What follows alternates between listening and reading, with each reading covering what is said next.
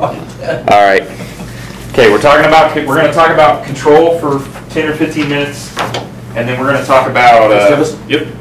Then we're gonna talk about, uh, horizontal and vertical, horizontal alignments and vertical profiles for, it's gonna be reviewed for some of you guys, some of you guys it'll be new, so.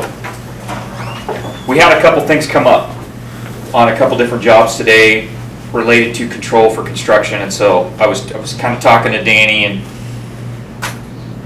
Jesse, and I thought, we'll just do this, we'll just take the first 10 minutes of class and talk about it. Okay, so I want you guys to understand the difference between control for mapping and control for construction, because there's a big difference and when it's important and when it's not important. So I'm going to walk through that. Okay? Here's what I tell people all the time. What I, the control I need on the ground for mapping, boundary and topo, is way less than Danny needs on the ground to build something, as a, as a general rule. Okay? So at a mi- bare minimum, how many points do I need to do a topo on site? Two. Two. Two. And if we're doing it with RTN, we don't even need two. Okay, but as a general rule, we like three. And you should set four or five, because some of them are gonna get blown out. Okay? So what I do when I, when, when somebody calls me for a boundary and topo, I, I, I almost always, I try to, always ask the engineer, would you like me to include a task for construction control? Okay? And they almost always say no, ninety-nine percent of the time. Does anybody want to guess why they say no? They don't want to pay for it. They don't want to pay for it. Okay, but there's a couple, even though I know they never pay for it, I always try and put it in there, and I'll tell you why. Sometimes you ask people stuff so that when it comes up, six months or a year later, you can say, I asked you, and you told me no. So part of it is a way to manage risk and liability. Okay, and one time out of a hundred, they say yes. Okay? So, the reason I make sure that I ask the design engineer or the project owner if they want me to do construction control while I do the design is because when they tell me no, and there's only three points on site, so I go out, we set three points, we do our topo.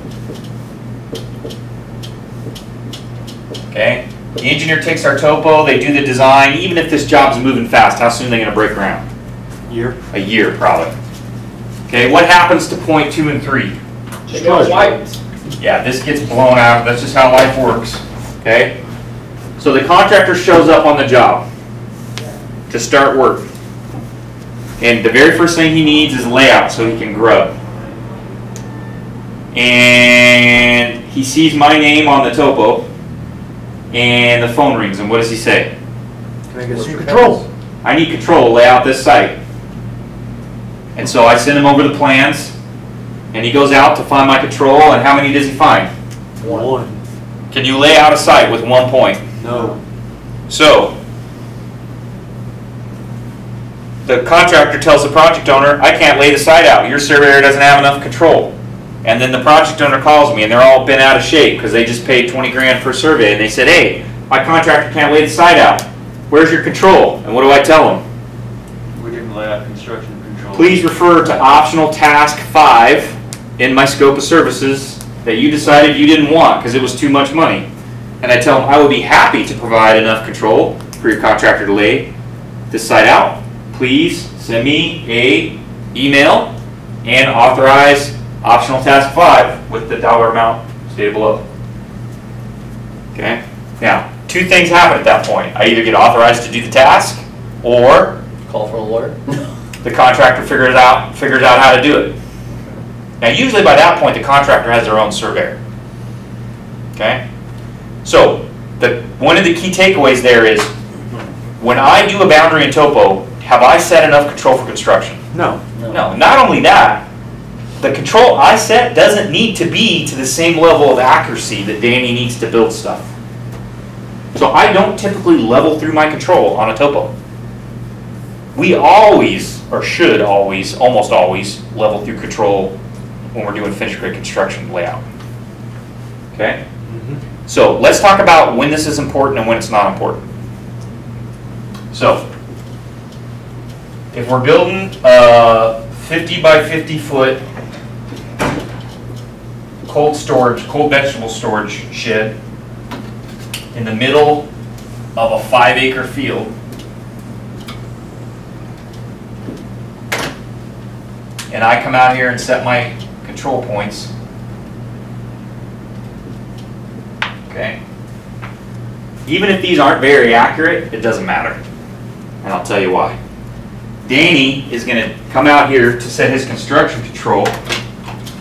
And he's gonna set up on two, and he's gonna backsight one. And he's gonna set his construction control right here.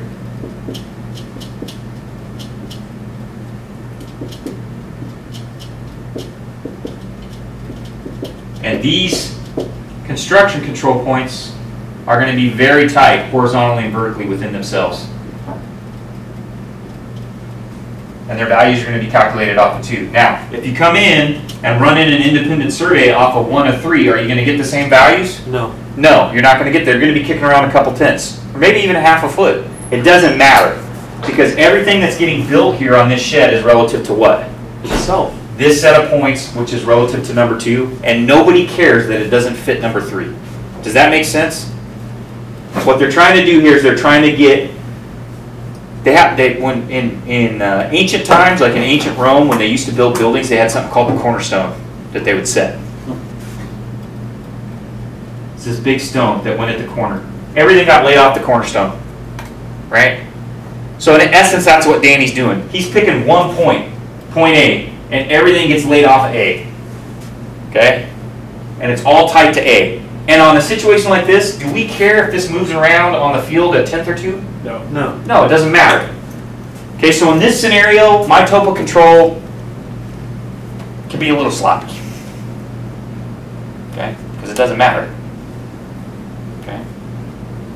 Now, sometimes it matters. We learned that today, didn't we? Zero lot line? Okay, so zero lot line's one. I'm gonna give you another example. Let's just say we're building the same 50 foot by 50 foot shed. Okay? And this is on a topo still? This is on a topo. We're building a 50 by 50 foot shed, but there's an existing food processing warehouse right here. And the 50 by 50 foot shed needs to go through, it needs to go in right here. And this has got to be wide enough to drive a truck through, and there's going to be conveyor belts that bridge across 20 feet in the air. Okay, and these conveyor belts got to line up with these internal columns in the food processing warehouse. This is a real deal. This could really happen. Okay? Now, if we topo the existing structure off of three, and Danny holds his two, comes in and does his cons- construction control off of two, what problem are we gonna have? Slop. It's not gonna fit. We're gonna have, the we're gonna have the tenth or two again, guys. So what mistake did Danny make? He didn't tie into one. He came in, he came off two instead of three. He should have held three. Because how, where do we topo the building? High Three. three. Okay, so what, the existing building is what I call a design constraint. It's a constraint on the existing design, okay? Those column lines control, so what really controls the location of the shed? Is it control point three? No, it's the Is it- existing building. It's the existing building. Now, when, if this is the scenario, can you half-ass your shots to the column lines on the existing building when you do the topo? No. So that building is a design constraint, what do I have to know when I do the topo? That's what buildings like. I have to know that. I have to know that. Okay, now, I'll give you another, we'll make this even a, a little more complicated. Let's say there's a floor drain in this new shed that's gotta come over here and dump in an existing storm drain catch basin. Now, not only is the horizontal, is not only is it there a horizontal design constraint, There's a vertical. there's a vertical design constraint and they're not even in the same place. So let's just say, I'm gonna make this worse, let's say the storm drain we gotta, we gotta tap into is down here. Which point did we shoot that from? One. One. No. Oh, yeah, one, I'm sorry, yeah, Yeah, one. that's where we did. Shot it from one. Where'd we shoot the building from? Three. three. Now the relationship between one and three becomes really important. And so when I do the design topo, what do I have to do between one and three? It's got a level on. I gotta run a level between it? and And I gotta make sure that's really tight. Now here's the challenge for us as a, as a survey team. How often do you think the design engineer communicates to me all the design constraints? Not very. Yeah, it's, so part of what you, part of being a good surveyor, when you get the phone call to do a design topo and boundary is to ask what? What is it used for? What are we doing and what are your design constraints? Okay, and in urban projects, this is worse. Because what do you have on each side of your site? Other buildings. Or, or surveyors? What else could be a constraint? Property lines? Yes, or what's almost always a constraint in an urban, Easements. no, No. something physical, Fences? no, Concrete. curb and gutter. Wow. If you're tying into a street conform or your drainage, right, you gotta know where that's at, okay? Anytime you have a site that's gonna tie into hardscape, existing hardscape, that's what we call a conform line. And you gotta really think about your conform lines, okay? So, a lot of times, it doesn't matter. Danny picks one point and he rolls. And he lays out the construction control. But if there are elements of the site that are gonna constrain the design, existing features, then you gotta really think about that. And I, and, and that's why it makes sense to have the same surveyor that does your design survey do you what? Construction staking. How often does that happen? Never. Twenty percent? So you got a different surveyor doing the construction layout, right? And you gotta remember, by the time he gets here, what's happened to point, point two and three? They don't do it. No, So he's gonna run everything in from one, and what's gonna happen when he gets over here? it's gonna be off. Okay? So, I'll just give you an example. I can topo two miles of road from four or five points. Especially if we're doing it, if we're doing it R- RTK. Okay? If I was gonna do construction control on a job like that, I'd set a control point every thousand feet and we'd run levels. It's just, there's a huge difference between what you need for construction and what you need for topo and boundary. Usually. That makes sense? Mm-hmm. Okay. All right, let's talk about horizontal alignments and vertical profiles. Try not to mix those two up, they're different. It's not horizontal profile and vertical alignment, it's horizontal alignment and vertical, vertical profile. Okay, so they are typically used for linear features, roads, levees, pipelines, railroads, okay?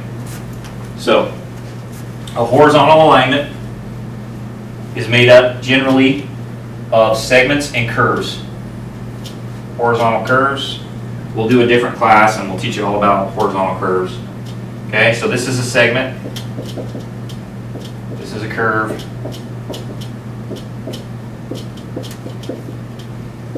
Okay, curves generally have, these are called tangents. I'll just get you familiar with some of the terminology. These are tangents, this is the PI, point of intersection. Okay. Alignments are, are managed with stationing. You guys have all seen stationing. So you come down here, this is ten plus a pair. Okay? That's just another way to write one thousand.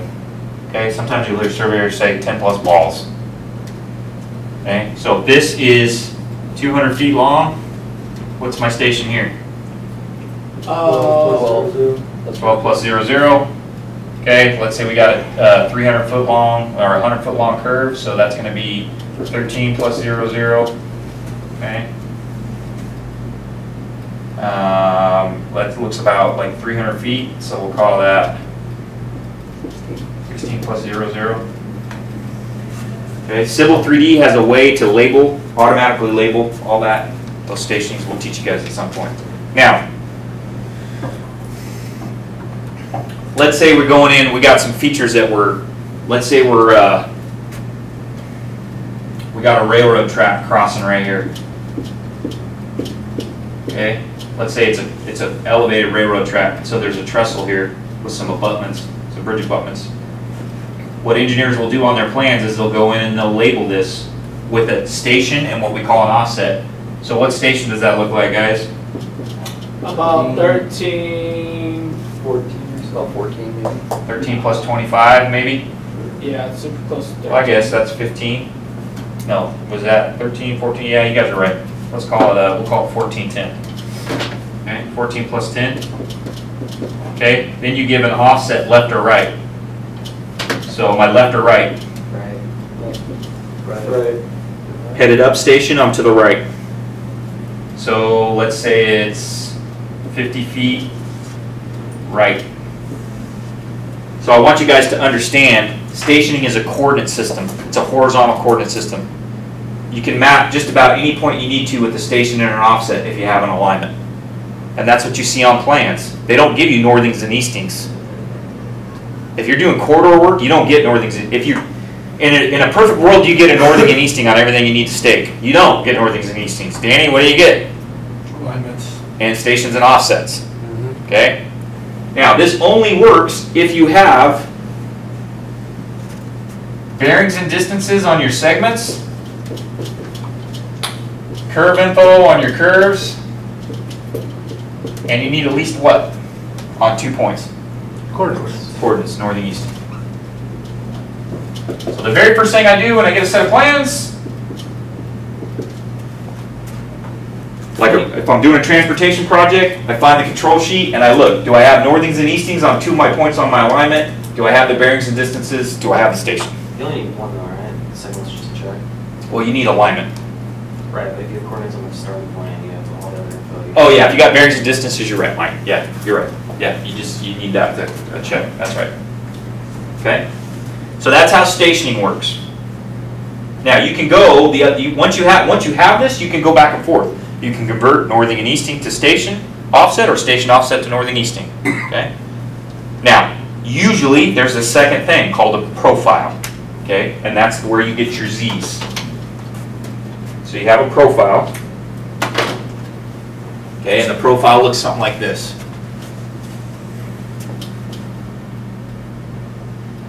I'm gonna have a really lame looking vertical curve. Okay, so this is uh, three percent. Then they'll give you your curve, vertical curve. Vertical curve is just an upside down parabola. And they'll usually give you the length here. And we got minus five percent. They'll give you, we got another vertical curve here. They'll give you a length. Okay, and then we're a plus four percent. Okay, and these all get state, these all get stations, so they'll tell you. Station ten plus a pair. Station twelve plus a pair. Twelve, thirteen, ten. Uh, 14, no, 15, 10. Okay? And usually you get some elevations here. So they'll give you some elevations at key points. Okay? Profiles associated with an alignment. What gives you the horizontal? The alignment. What gives you the Zs, the elevations, the profile? You need them both. If you want to know the northing easting elevation of this exact crossing point, you gotta use both. You gotta use the profile and the alignment. Okay? Alright, there's something else I was gonna say. Okay, so I'm gonna teach you one more thing.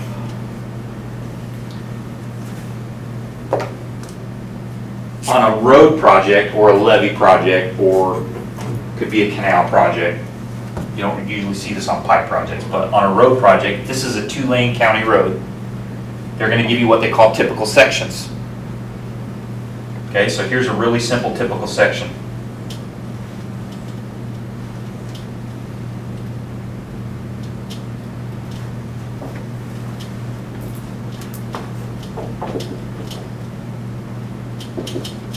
Okay, what does this mean? Ignore my one. What's that mean? Two to one grid. This is a two to one slope on the shoulder. Two to one slope on the shoulder, Do you guys know what two to one is? two over one. Good, co- good, thank you, Logan. No, I know what two over over one run. is, but I don't know Yes, like. rise over Above one. how- Two feet out, one foot down is what Oh, that okay, means. Gotcha. Okay, this is percent. This is what they call this point right here. Yep. What? Oh, crown. Oh, Sometimes your center line is not your crown, I didn't usually, what- but not always, yep. Okay, so here's what you have to do now. If you want, if the contractor calls, this is EP, and he says, Danny, I want edge of pavement rough grade stakes for the whole alignment so I can start my rough grade. Are those ele, are those northings and eastings and elevations shown on the plans? No. No. This is engineers being lazy. Okay? So what does Danny have to do to calc those points? We gotta go stake them in the field. You take your typical section and you sweep it through your alignment. And you figure out where, and you gotta remember, it's not only sweeping horizontally, it's also sweeping what? Vertically. Up and down on the profile, right? And you rebuild this design in three dimensions. Now, there's a couple ways you can do that. You can do it in AutoCAD. You can also do it in Excel, and we're gonna teach you guys, we'll teach you how to do it. Okay? But here's what a lot of people don't realize. With this automated machine control crap that they got now, this, the surveyor is not on the construction side as much, and that causes problems, because before a piece of wood gets laid in the ground, what does that surveyor do with the engineer's plans? Double checks it. He completely builds a 3D model of that set of plans. And guess what? Every set of plans you get, when you go to build a 3D model, what do you find?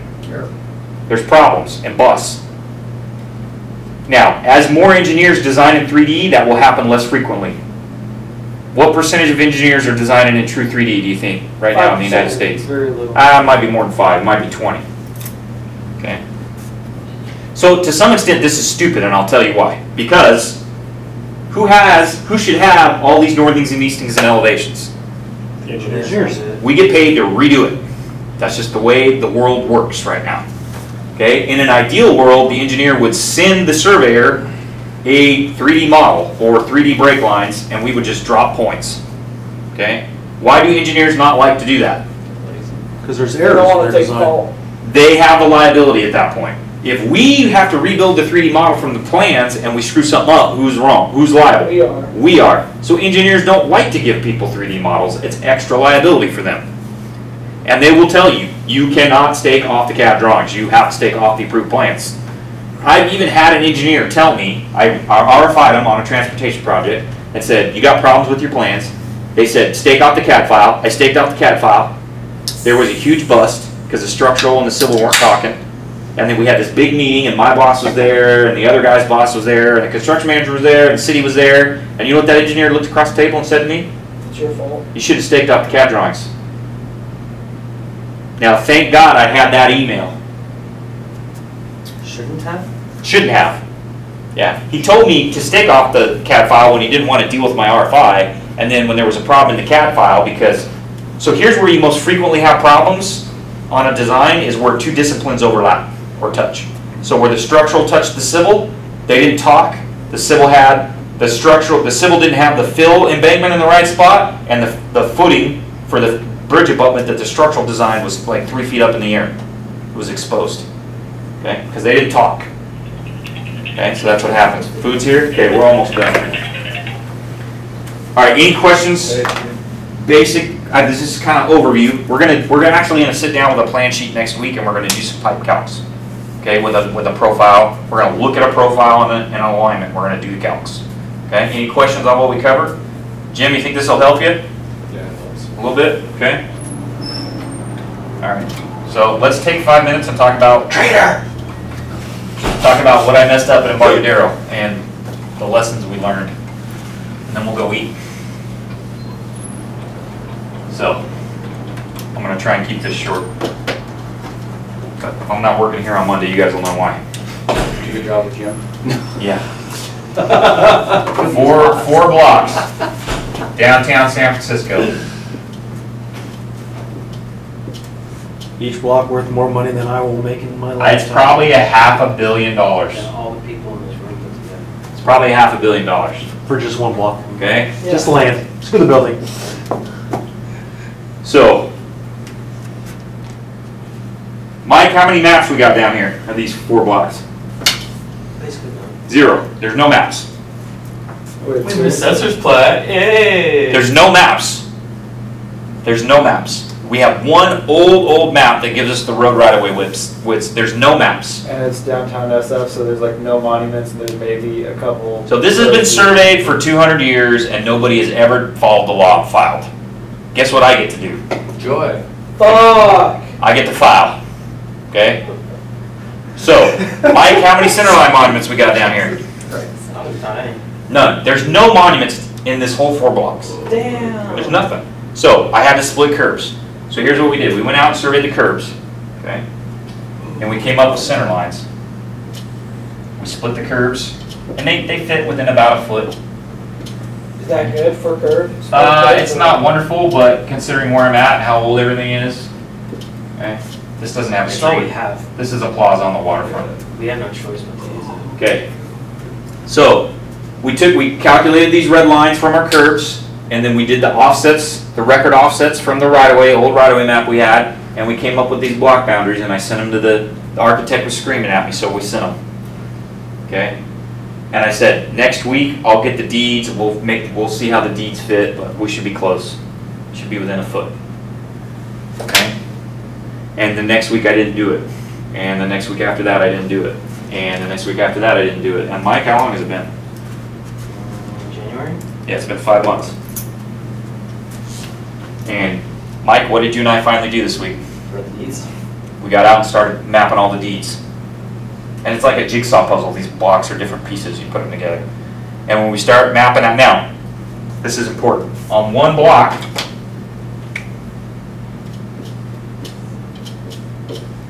one of these blocks and only one, the street was narrower. But this was a city park. Are all private. So I looked at that and I said, yeah, that's a little funky. I said, the city must have come in here and expanded the park. Right? Mike, is that what happened? No. They didn't expand the park. I got it backwards. What did they do on these other three blocks, Mike? They took 10 feet. But when I did my center line, No. did I use the line down here? The- So this is a 10-foot strip that the city took. When I placed my center lines, which curves did I use? The ones that the cities, The curb's up here now, the city widened the street. So where are these red lines? they're off by ten feet. They're off by 10 feet, which means where's this line? Off by ten feet. Off by 10 feet. Now, here's how we could have caught this, even without looking at the deeds. But as soon as you look at the deed, you know. Because our line, right, this purple line that we have is 285, and guess what the deed says? Two ninety-five, 275. um, Cause you're ten feet. long That's what on Mike saw. those and- Mike came to me a couple days ago and was like, hey, this doesn't match. I was like, yeah, you're right. Now, here's, here's how we could have caught it, we just missed it. That old right-of-way map had some distances on these center lines. And if we'd have looked, we'd have realized we were ten feet too long. Okay, now let me tell you, now thankfully, we weren't building skyscrapers here. By the way, I wouldn't have shipped this without checking the deeds if we'd have been building skyscrapers. I'd make the client wait. Okay, we're just doing sidewalk improvements. So, nobody's gonna execute me, but I might lose my job. So let me tell you why I might lose my job. The, the engineer and the architect use this purple line to decide where to put improvements in or out of the city right of way. Can you put whatever you want in the city right of way? Mm-hmm. No. So now the problem is, guess where the real line is? Ten feet in. 10 feet in.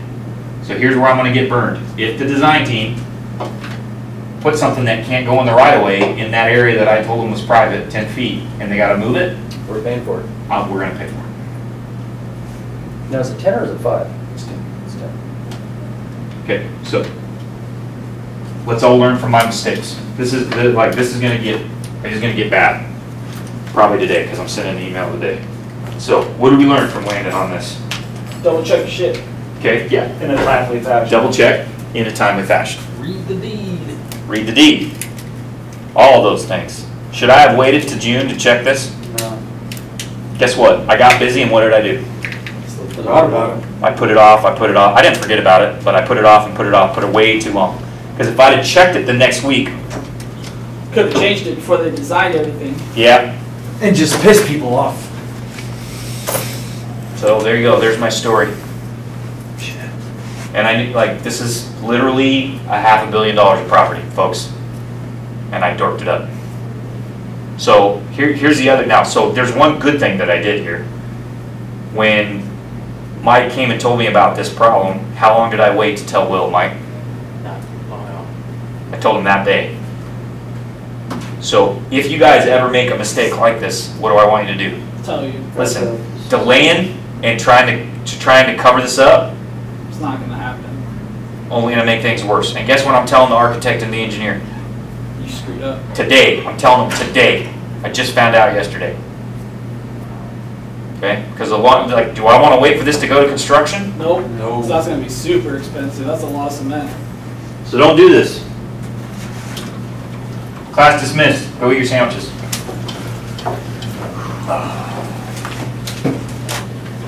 But they haven't built anything yet, right? Not yet. No, I'm. So it's just, it'd be a redesign? right? Yeah, I'm gonna be on the, we'll be on the hook for redesign, whatever that is.